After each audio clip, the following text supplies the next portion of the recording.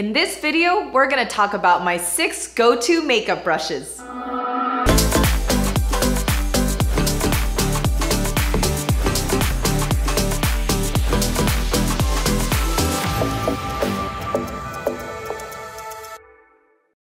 Just like cooking, to achieve the best results, it's all about using the right tools. So let's jump right into brush number one, my ultimate foundation brush.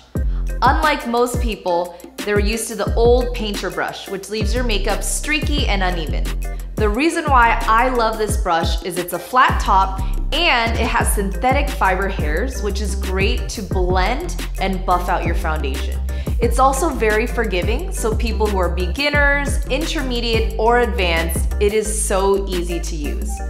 One of the best benefits of this brush is it's buildable, and again, you can control how much you blend the product. These brushes can be available at any local drugstores, Sephora, Ulta, MAC. It really depends on how much you want to spend. These brushes can go from 10 to $50, but all you wanna do is look for a flat top with synthetic hair and has this type of dome effect. This particular one I got at Sephora. It's an old brush, but quality obviously will last you a lot longer. Brush number two is the concealer brush. This particular one is from MAC in number 195. This right here is made out of synthetic fibers, which are amazing to control concealers, cream products, and liquid products. If you take a look carefully, it has a nice little pointed end, which allows you to get right underneath the eyes, around the brows, and it's all about precision. One of the benefits of using this brush is again, it works for any occasion, any eye shape, and it blends a product really well especially if you're covering blemishes or any areas that you want spot treatment. You get to use the point and get right in those areas as well as using the flat side to really blend in and build that coverage to correct any dark circles and uneven skin tone. This particular brush I found at the MAC Pro Cosmetics store for only $36. However, if you're on a budget, you can try a local drugstore or even look at Sephora and Ulta. Sometimes they have some really good deals. So it's all about precision, looking at the pointed tip, and again, a brush that is synthetic hair. Again, great for creams, liquids, and concealer. Brush number three is my favorite powder brush. This is my tried and true brush from Estee Lauder, and as you all know, Estee Lauder has been around forever. So I splurged and got a brush that's about $60. I know it's a lot of money, but if you really think about it, you're going all over your face, adding your powder, and the last thing you want is cheap bristles, shedding, and scratching your face. So this particular one you can get at Nordstrom, Macy's, or even EsteeLauder.com. One of the cool things about this brush particularly is it's made out of natural hairs, very fluffy and soft. So unlike the other brushes we were talking about, natural hairs really help to blend and you wanna use it with only dry products such as powders, loose powders, and whatnot. And the natural hair just makes it so soft, it feels like you're literally giving yourself a massage. Now, out of all six brushes that I'll be talking about today, this brush right here is the one that I would allocate the most money. The reason being is this is your powder brush. This is the part where you finalize the look and you really wanna feel like you're being pampered. So this right here is my powder brush from Estee Lauder. Next up is brush number four. This is my contour and blush brush.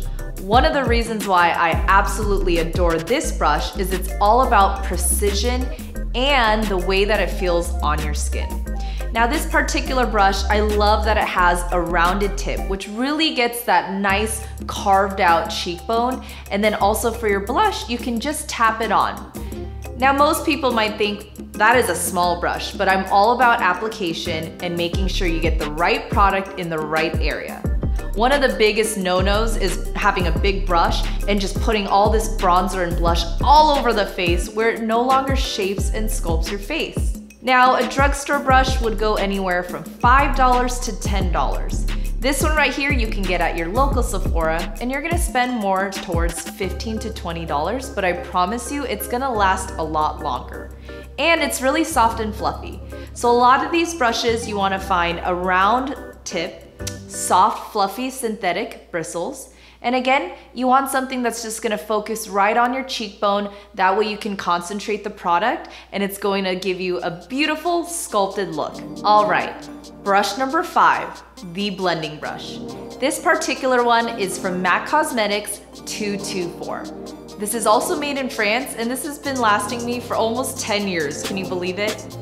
If you are more an advanced level, I would recommend investing in some good brushes and MAC Cosmetics offers so many amazing brushes. However, if you're new and a beginner in makeup, maybe try something more on the lower end that should only spend about $5 to $10 on a nice blending brush for your eyeshadows. One of the reasons why I love this brush is it's fluffy, it's made out of synthetic fiber hair, and it's really soft. So when you're applying your eyeshadows, you're just gonna get such a smooth application. And again, it really helps to blend eyeshadows. This is also a multitasking brush because you can even blend in darker shadows in the corner to create more of a dimensional smoky eye. All right, so last but not least is brush number six, my highlighter brush. Now I honestly should have stopped at brush number five, but once I started experiencing the highlighter game, this totally changed my life. And it's from e.l.f. Cosmetics and I only got it for $4. So one of the reasons why I love this brush is it's an angled brush, but it's also fluffy. So it gives you really precise application, but it's also fluffy enough to really blend the product.